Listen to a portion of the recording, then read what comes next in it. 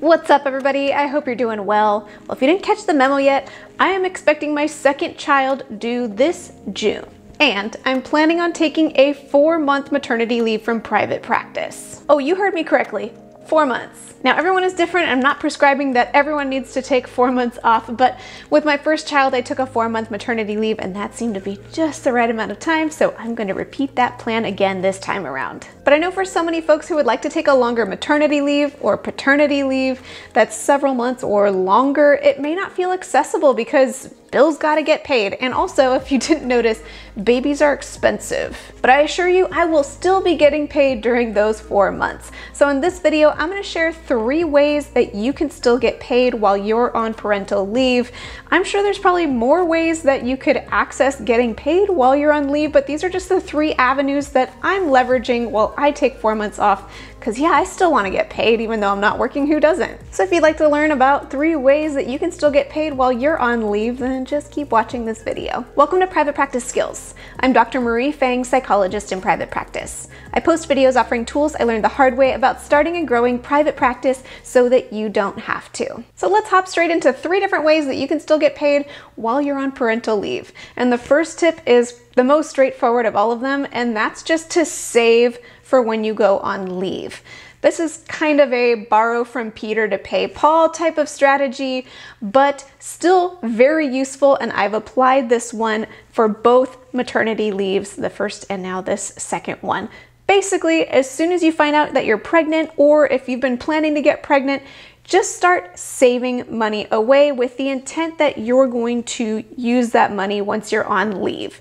So it's not necessarily like a secret way of gaming the system, it's just a a good idea to plan ahead, save some money, and at least cover your overhead costs, but definitely you can save enough in order to, to take a paycheck while you're not working. Now that could mean that in general your monthly paycheck looks a little bit lower for while you're pregnant and then while you're on leave, but you could also choose if you want to maybe see a few more clients than usual during your pregnancy that's uh, depending on how easy your pregnancy is, that may not be so easy to access, but it is an option to see extra clients kind of up front in order to account for the fact that you're not going to be seeing clients while you're on leave. And that's why this is a borrow from Peter to pay Paul type strategy because you're not really coming up with money out of nowhere. You're, you're just spreading it out. Now, if you're not interested in taking on extra clients while you're pregnant, but you would really like to still have the same paycheck while you're on leave, then these next two tips might be helpful to you.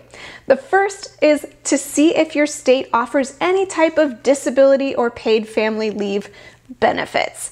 I live in the state of California where I qualify for disability benefits starting at 36 weeks pregnant for the final four weeks of pregnancy and also into the first six weeks postpartum. So I qualify for disability benefits for 10 weeks.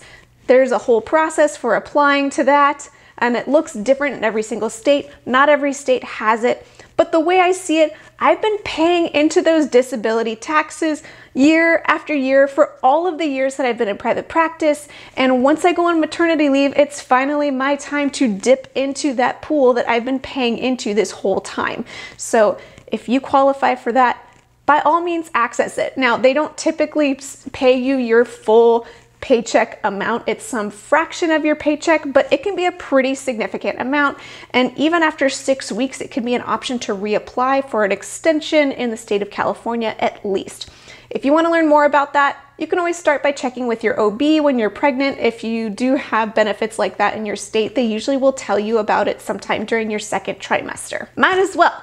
I must say, as a tangent on this topic, I really, really dislike that it's referred to as disability benefits because on what planet does participating in perpetuating the human race count as a disability? Nonetheless, I understand how legally, because you're paying into those disability benefits in your taxes, it needs to be called a disability in order for you to pull from it, but end rant. So as you can see, depending on what state you live in and how you decide to implement these tips, you could potentially take up to 10 weeks of leave or, or even longer without seeing much of an impact on your paycheck. But if you're wanting to take longer than 10 weeks with maternity or family leave, then there's one last tip that I'm utilizing that you might find helpful too.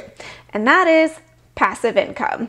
Now, if you've been following my channel for any amount of time, then you've heard me talk about passive income a bit more recently, but if you have access to any forms of passive income, theoretically that passive income should be able to still come in while you're not working. So for me, private practice skills generates actually the majority of my income and it is a passive income stream. So that means the majority of my income will just keep coming in while I'm not working and I really won't see much of an impact on my paycheck even if I took longer than four months off, which is awesome.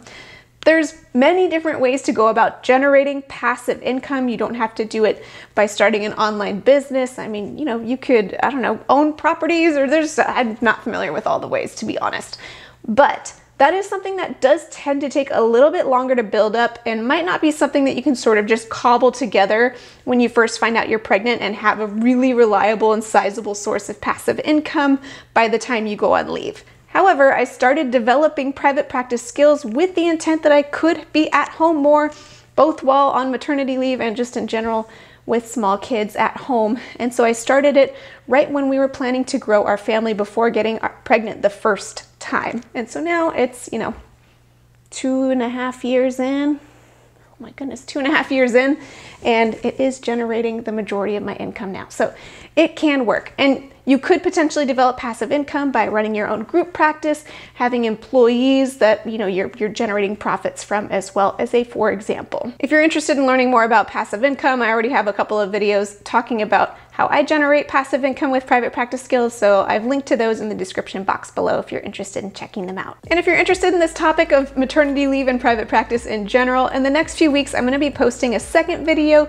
debriefing how I did maternity leave the first time and kind of following up about what sorts of things I'm going to do differently this time. So stay tuned for that if you're interested. And thank you to therapynotes.com for sponsoring this video. Therapy Notes covers all of your practice management needs from scheduling to notes to billing and so much more. And they offer a HIPAA secure telehealth platform, which is free for all subscribed users. If you're interested in checking out Therapy Notes, you can get two months to try it for free with no commitment just by clicking the link in the description of this video. Well, I hope you found this video helpful if you're planning on taking parental leave while in private practice. And if you've already done so before, I'd love to hear in the comments how you went about preparing financially so that, you know, so you could pay your bills while you're taking your time away with your family. And until next time, from one therapist to another, I wish you well. And speaking of leave, for those of you still watching at the end of this video, my video videos in the coming months might just become way more casual because I'm having a whole lot of pregnancy problems.